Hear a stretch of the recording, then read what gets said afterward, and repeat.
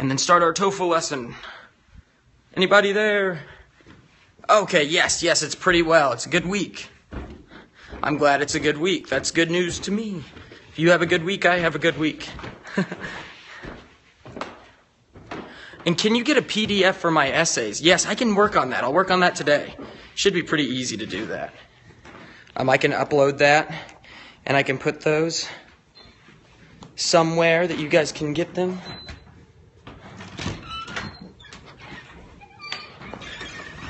Okay, I can relax finally. I'm in a computer lab. That's what our computer lab's. Normal computer lab full of computers. I'm gonna sit at the teacher's desk. I can sit at the teacher's desk.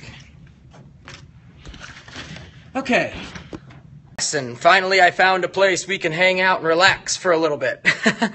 so, I want to talk to you first about my interview today. I want to talk to you about interviewing in the United States. Um, I know that interviews might be different depending on where you live, where you want to study, but I'm going to talk to you specifically about the U.S., the United States. So I'm going to set you up right there, and I'm going to talk to you guys. So let's go ahead and begin. But before we begin, I have some notes for you guys. Just give me two seconds. So, I um, went this morning at 10 o'clock to my interview. I went this morning at 10 o'clock to my interview. And the first thing that happened, which was really funny actually, is my friend, one of my close friends, was the student who interviewed me, which was interesting. So I had trouble kind of separating him as my friend from someone who might be hiring me in the future, which was very nerve wracking. It was very nervous, made me very f- nervous, kind of jittery, on edge, because I didn't know what to say because he was my friend, but he was also um, someone who was interviewing me.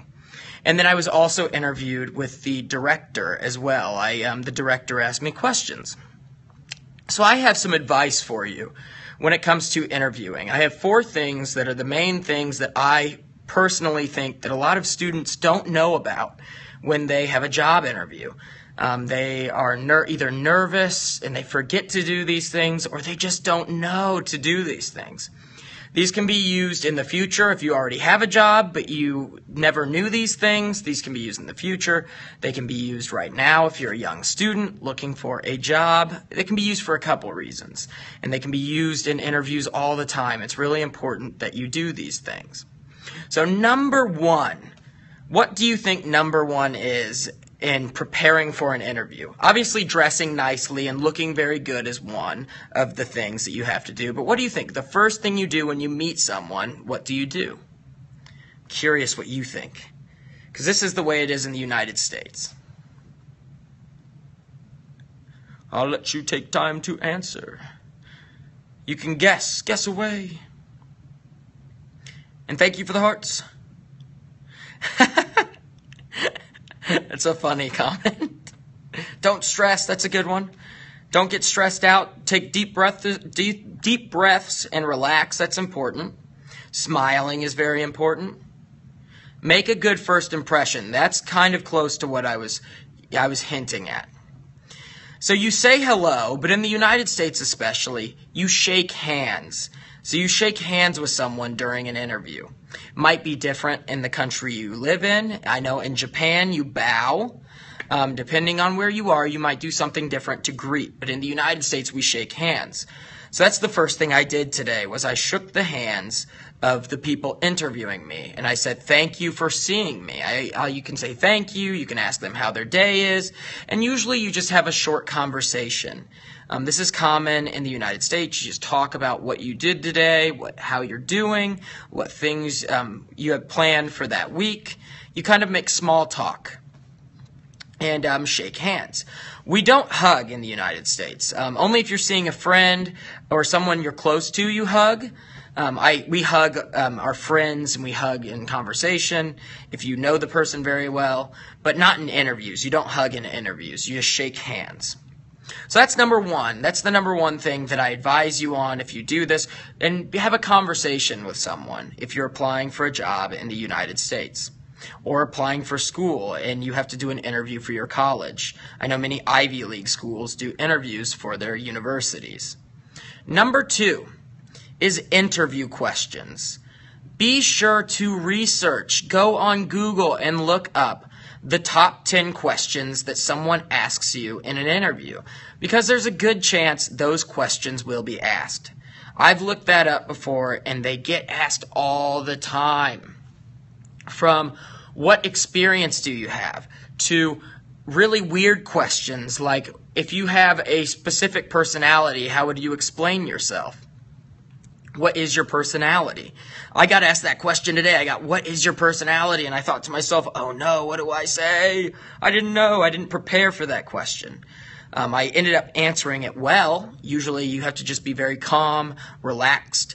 If they ask you a question you don't know the answer to, think about it for a little bit, take a deep breath, and then give the best answer you can. Give the best answer you can. If you start to get stressed and sweat, then it'll be obvious that you weren't prepared. And what did I answer for my question?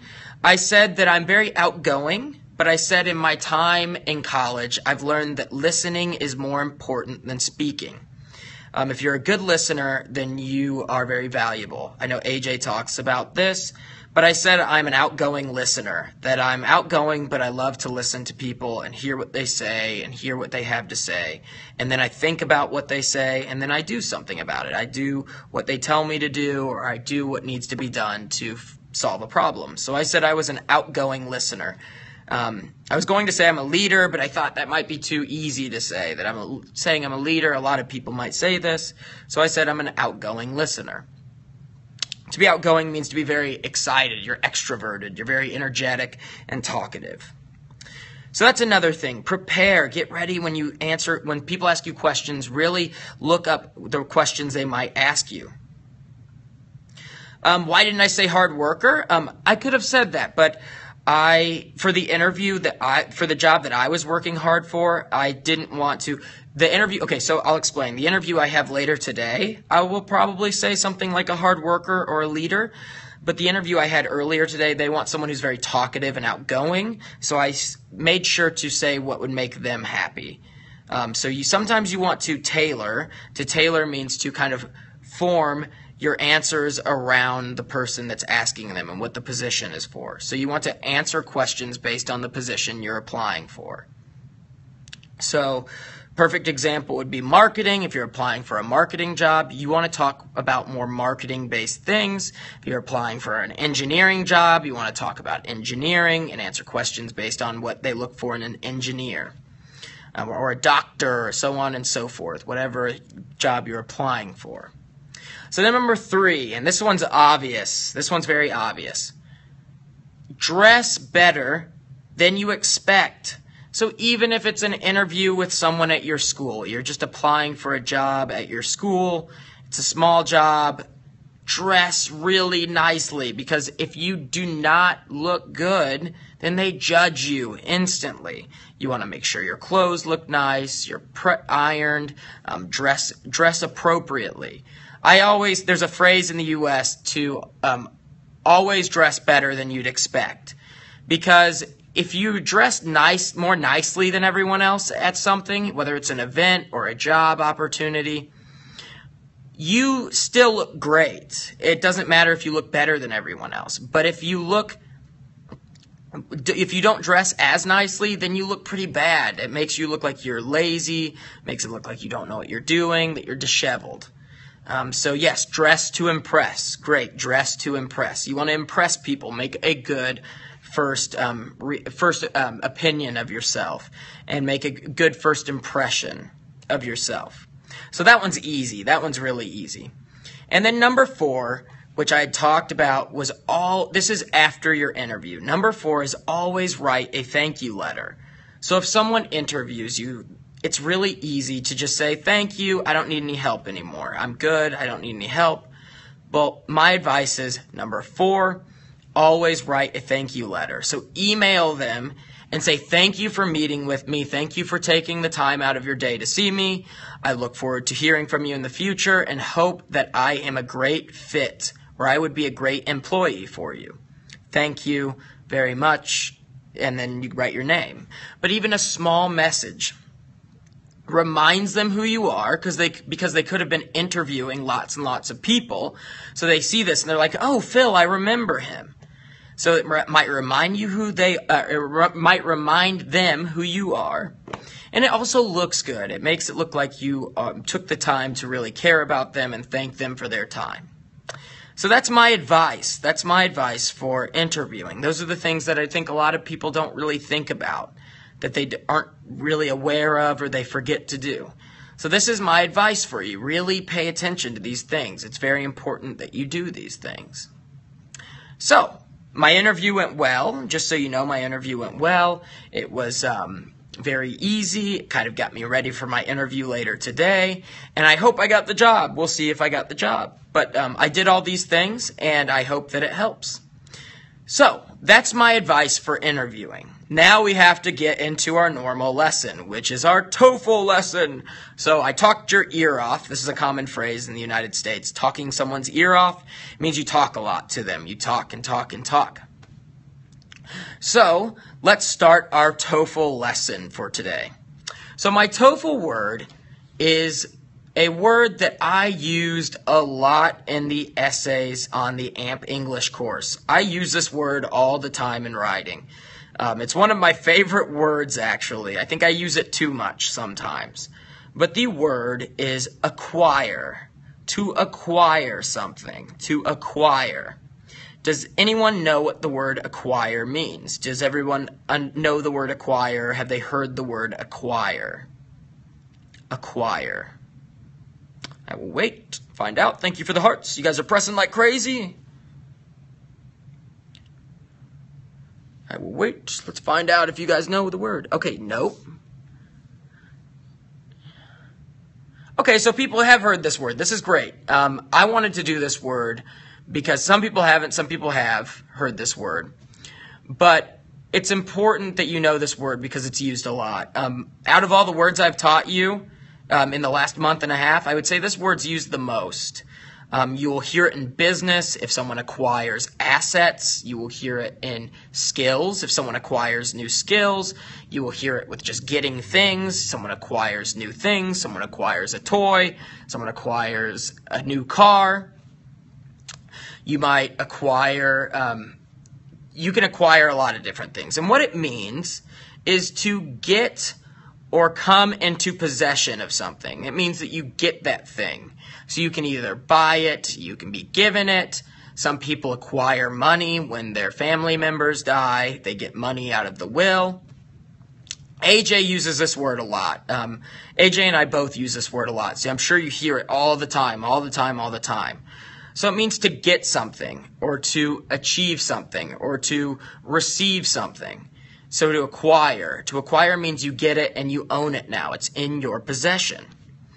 So I use this a lot when I teach skills in the AMMP English course. You will hear this a lot. You'll get sick of me saying you acquire a new skill or you acquire a new asset. Um, and so you will hear this a lot, a lot, a lot, a lot. So I've got a couple practice sentences for you. I really wanted to teach you this word because it's really important that you know it. Um, if there's one word I want you to practice the most in your speech, it's this word, um, just because it's used so much. And it makes you sound intelligent. It sounds better than I get something. It, sound, it sounds a lot cooler to say I acquired something. I received it. I got something, but I acquired it. Doesn't it sound better than I got something or I get something? I think it pers- personally, I think it sounds better. I think it makes you sound like a native English speaker. Um, it's a very powerful word, but it's very simple to use too. So, I will give you my practice sentences and then I will take questions. Oh, cool, and it's, it's very similar in French. Um, good, good. That makes it easy for you. Um, so, let's go ahead and get started with my words. In 20 years of collecting cars, you're collecting cars, you're just getting, you keep getting and getting cars. I have acquired 300 of them. So let's pretend I've been collecting cars for 20 years. I've been collecting cars for 20 years. And I have acquired 300 cars. So I own 300 cars. I have 300 cars. That's a lot of cars. But I've been collecting and collecting and collecting, so I have acquired all of these cars over 300 or over uh, 20 years, not over 300 years. That would I would be dead. But I acquired these cars over 20 years, and now I have 300 cars.